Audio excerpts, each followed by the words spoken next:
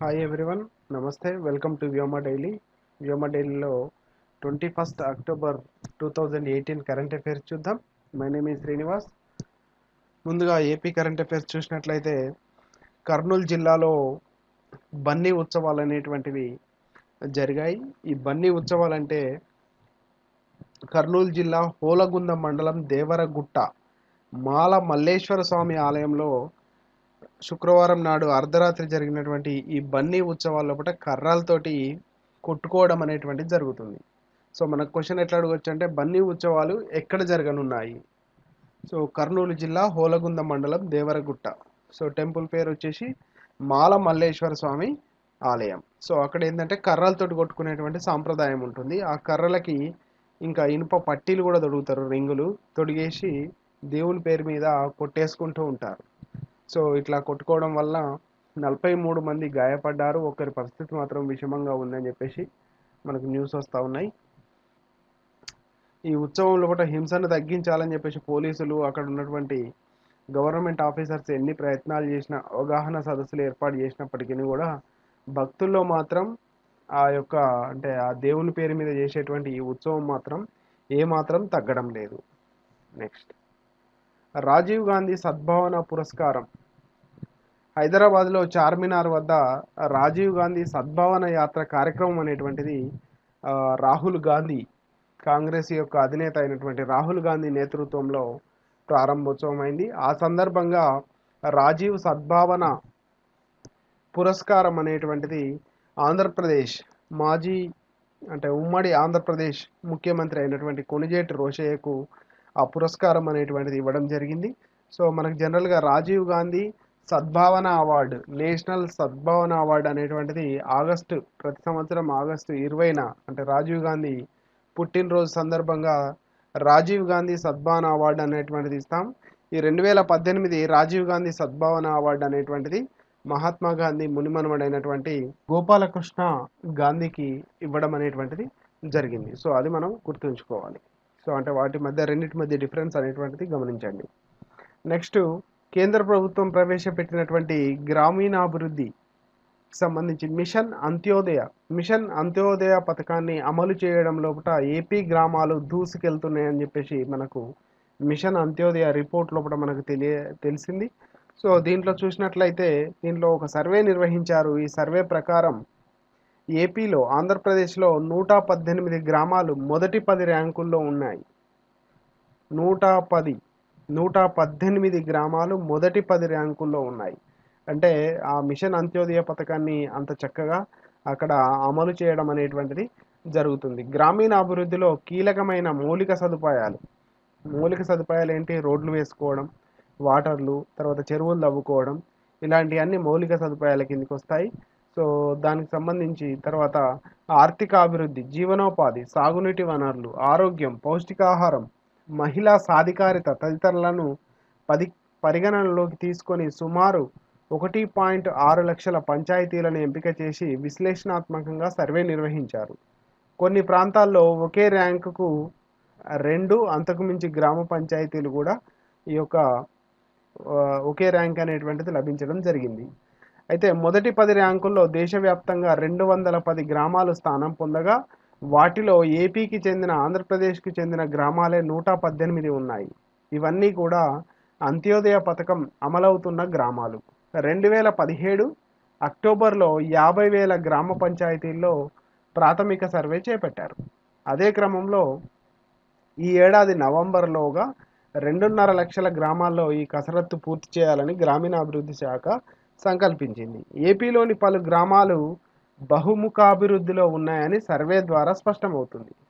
CM Chandrababu ప్రత్యేక పర్యవేక్షణతో గ్రామాలు మౌలికంగా అభివృద్ధి సాధిస్తున్నాయని మనకు ఇదొక ఎగ్జాంపుల్. పారిశుద్ధ్యం వ్యర్థాల నిర్వహణ ప్రజలకు అందుతున్న మౌలిక సౌకర్యాలు వంటి అంశాలపై కేంద్ర గ్రామీ గ్రామీణాభివృద్ధి విశ్లేషణాత్మక సర్వే కొనసాగిస్తుంది.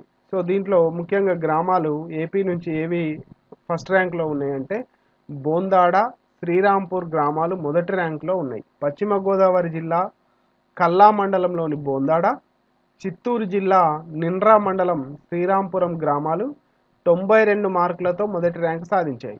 ఇది ఇంపార్టెంట్ మనం గుర్తుంచుకోవాలి. మొదటి ర్యాంకు సాధించినటువంటి ఆంధ్రప్రదేశ్లోని గ్రామాలు ఏవి? ఇది జిల్లా గుర్తుంచుకోవాలి గ్రామం పేరు గుర్తుంచుకోవాలి. పశ్చిమ గోదావరి జిల్లాలోని బోందాడ చిత్తూరు జిల్లాలోని శ్రీరాంపూర్ గ్రామాలు.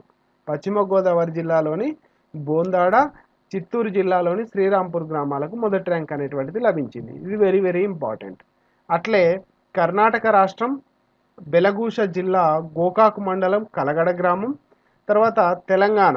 సో తెలుగు ప్రజలకు సంబంధించి మళ్ళీ తెలంగాణది కూడా గుర్తుంచుకోవాలి. తెలంగాణలోని సంగారెడ్డి జిల్లా రామచంద్రపురం మండలం తెల్లాపూర్. అంటే సంగారెడ్డి జిల్లాలోని తెల్లాపూర్ గ్రామానికి కూడా మొదటి ర్యాంక్ అనేటువంటిది లభించింది. మొత్తానికి ఆంధ్రప్రదేశ్ రాష్ట్రంలోని పశ్చిమ గోదావరి జిల్లా నిడదవోలు మండలం సామిశ్రీగూడెం విశాఖ జిల్లా మాడుగుల గ్రామం తొంభై ఒక్క మార్కులతో రెండో ర్యాంకు సాధించాయి. తొంభై మార్కులతోటి చిత్తూరు జిల్లా కలికిరి మండలం పారపట్ల పశ్చిమ గోదావరి జిల్లా దెందలూరు గ్రామం మూడో ర్యాంకును సాధించాయి. సో ఈ మొదటి ర్యాంక్ వచ్చినవి మాత్రం తప్పకుండా గుర్తుంచుకోవాలి. ఒకటి పశ్చిమ గోదావరి జిల్లాలోని బోందాడ శ్రీరాంపూర్ జిల్లాలోని చిత్తూరు జిల్లాలోని శ్రీరాంపురం తర్వాత తెలంగాణలోని సంగారెడ్డి జిల్లా తెల్లాపూర్ గ్రామాలు మొదటి స్థానంలో ఉన్నాయి. ఇది ఇంపార్టెంట్. నెక్స్ట్ చూసినట్లయితే ఇటీవల కాలంలో పేర్లు పట్టణాల యొక్క పేర్లు మారుతూ ఉన్నాయి. పేరు మారనున్న సిమ్లా దీనికి పాత పేరు పెట్టే అవకాశం ఉంది. సిమ్లా సిమ్లా అనేటువంటిది ఎక్కడ ఉన్నది? ఉత్తరాంచల్లో ఉంటుంది సిమ్లా. ఈ సిమ్లాకు శ్యామల అనేటువంటి పాత పేరు ఉన్నది. సారీ సిమ్లా అనేటువంటిది హిమాచల్ ప్రదేశం హిమాచల్ ప్రదేశ్ రాష్ట్రంలో ఉంటుంది. హిమాచల్ ప్రదేశ్లోని టూరిస్ట్ ప్లేస్ ఇది సిమ్లా అనేటువంటిది. అయితే ఈ యొక్క సిమ్లా పేరును శ్యామలగా మార్చే యోచనలో ఉన్నట్టు ఆ యొక్క హిమాచల్ ప్రదేశ్ ప్రభుత్వం వెల్లడించింది. బ్రిటిష్ కాలం నాటి చిహ్నాలను తుడిచిపెట్టడంలో భాగంగా సిమ్లా పేరును మార్చాలంటూ హిందుత్వ సంస్థలు డిమాండ్ చేస్తున్న నేపథ్యంలో ఈ నిర్ణయం తీసుకుంది. బ్రిటిష్ వాళ్ళు రాకముందు సిమ్లా పేరు శ్యామలా అని ఉండేది. సిమ్లా పేరును మార్చాలంటూ వస్తున్న డిమాండ్ దృష్ట్యా ప్రజాభిప్రాయం కోరుకు కోరు కోరనున్నామని ముఖ్యమంత్రి హిమాచల్ ప్రదేశ్ ముఖ్యమంత్రి జైరామ్ ఠాగూర్ పేర్కొన్నారు. సో ఇటీవలి కాలంలో మనకు చాలా రా పట్టణాల పేర్లు అనేటువంటివి మనకు మారినాయి. సో రీసెంట్గా లాస్ట్ వీక్ మనం డిస్కస్ చేసాం ఉత్తరప్రదేశ్ ప్రభుత్వం అలహాబాద్ పేరును ప్రయాగ్రాజ్గా మార్చింది. అలహాబాద్ పేరును ప్రయాగ్రాజ్గా మార్చింది అనేది మనకు తెలుసు. అట్లే మన భారతదేశంలో చూసినట్లయితే ఇటీవలి కాలంలో రెండు వేల పదహారులో హర్యానా రాష్ట్రంలోని గూర్గావ్ ఉన్నది కదా గూర్గావ్ పేరు గురుగ్రామ్గా మార్చారు. హర్యానా రాష్ట్రంలోని గూర్గావ్ పేరు గురుగ్రామ్గా మార్చారు. అట్లే కర్ణాటక రాష్ట్రంలోని బెంగళూరును బెంగళూరుగా మార్చారు. బెంగళూరు అని పిలిచేవాళ్ళు కదా బెంగళూరును బెంగళూరుగా మార్చారు. సో ఇంకా చూసినట్లయితే మనకు ఇంకొంచెం ముందుకెళ్ళినట్లయితే బాంబాయి బాంబై పేరు ముంబైగా మార్చారు. తర్వాత త్రివేంద్రం ఉండే కేరళలోని త్రివేంద్రం పేరు తిరువనంతపురం తిరువనంతపురంగా మార్చారు. అట్లే కల్కత్తా పేరును కోల్కత్తాగా మార్చారు. కల్కత్తా పేరును కోల్కత్తా. ఇది పశ్చిమ బెంగాల్ క్యాపిటల్ సిటీ. అట్లే మద్రాస్ పేరును చెన్నైగా మార్చారు. తమిళనాడు ముఖ్య పట్టణమైనటువంటి మద్రాస్ పేరును చెన్నైగా మార్చారు. ఇంకా కొచ్చిన్ పేరును కొచ్చిగా మార్చడం కూడా జరిగింది. కొచ్చిన్ను కొచ్చిగా మార్చడం జరిగింది. అట్లే పాండిచ్చేరి పేరును పుదుచ్చేరిగా మార్చారు. పాండిచ్చేరి పేరును పుదుచ్చేరిగా మార్చారు. తర్వాత మన ఆంధ్రప్రదేశ్ రాష్ట్రంలో విశాఖపట్నం యొక్క పాత పేరు ఉన్నది విశాఖపట్నంకి ఏం పేరు అంటే వాల్టేర్. వాల్టేర్ అనే పేరు ఉండే మనకు అక్కడ ఏ ఏం సినిమాది జూనియర్ ఎన్టీఆర్ సినిమాలో వస్తుంది కదా వాల్టేర్ వాసు అని. సో విశాఖపట్నం. ఆ పేరు అట్లా గుర్తుంచుకోండి. వాల్టేర్. వాల్టేర్ విశాఖపట్నం. తర్వాత గౌహతి పేరును గువహతి అని మార్చడం జరిగింది. ఇటీవలి కాలంలో. తర్వాత బెనారస్ పేరుని వారణాసిగా మార్చారు. బెనారస్ వారణాసి. పూనా. మహారాష్ట్రలోని పూనా పేరును పూణేగా మార్చడం జరిగింది. తర్వాత త్రిచూర్ పేరును త్రిశూర్గా మార్చడం అనేటువంటిది జరిగింది. సో ఇట్లా మనకు చాలా పేర్లు అనేటువంటివి ఇటీవలి కాలంలో పేర్లు మారుతూ ఉన్నాయి. నెక్స్ట్ రేపటి నుంచి అమరావతిలో ప్ర ప్రపంచ బ్యాంకు బృందం ప్రకట పర్యటన అనేటువంటిది ఉన్నది.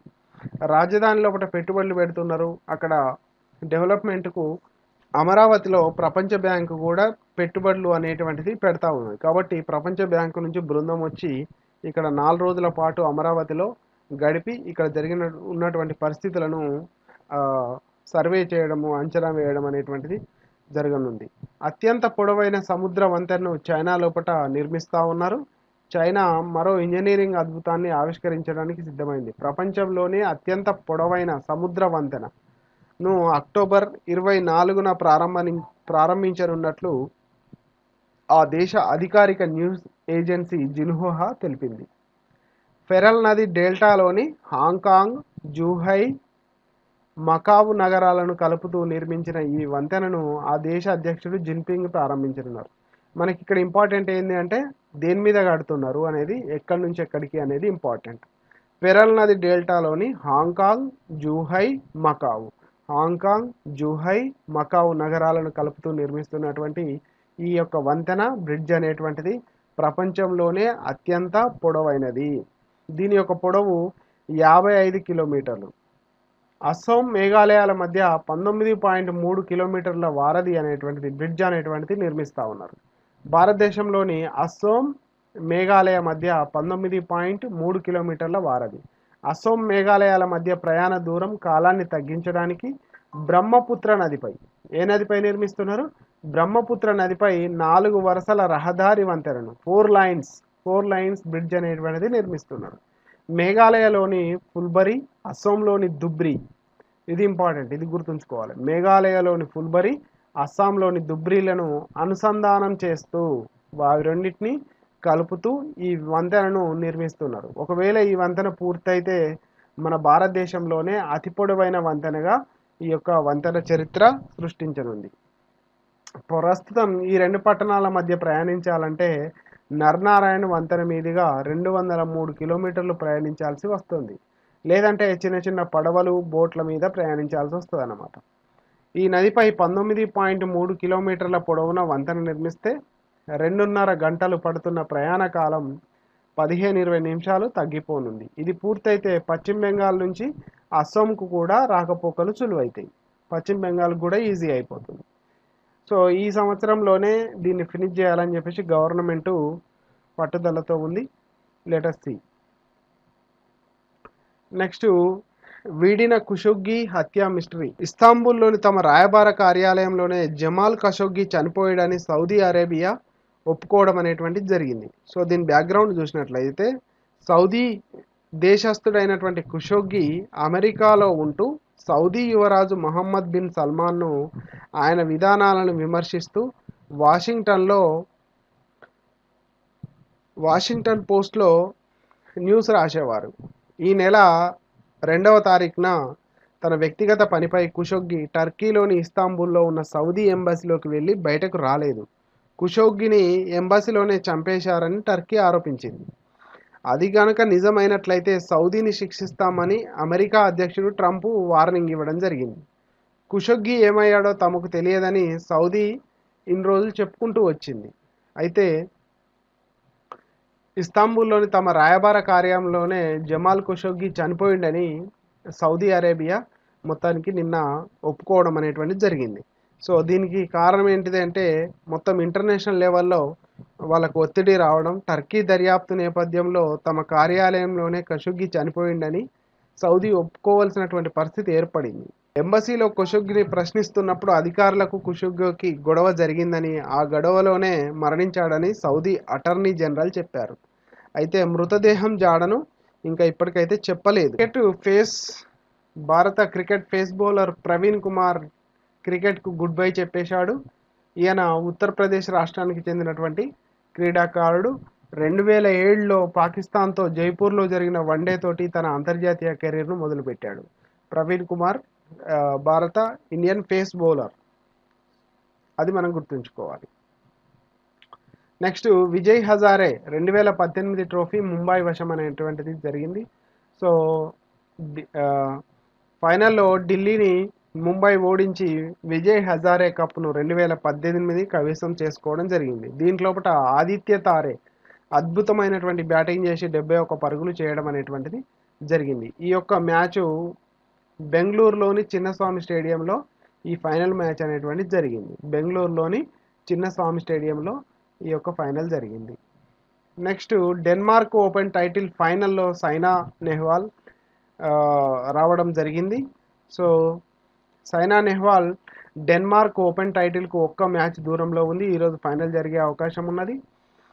మహిళల సింగిల్స్ సెమీఫైనల్లో ప్రపంచ పదో ranker Saina Gregoria marker Marcus తుమ్జుంగ్పై సునాయాసంగా గెలుపొందింది. టైటిల్ కోసం ప్రపంచ number one Tai Tzu ying China Chinese తైపీతో ఆమె ఈరోజు ఫైనల్ మ్యాచ్ ఆడనున్నది. సో ఇవి ఈరోజు current affairs. Thank you very much.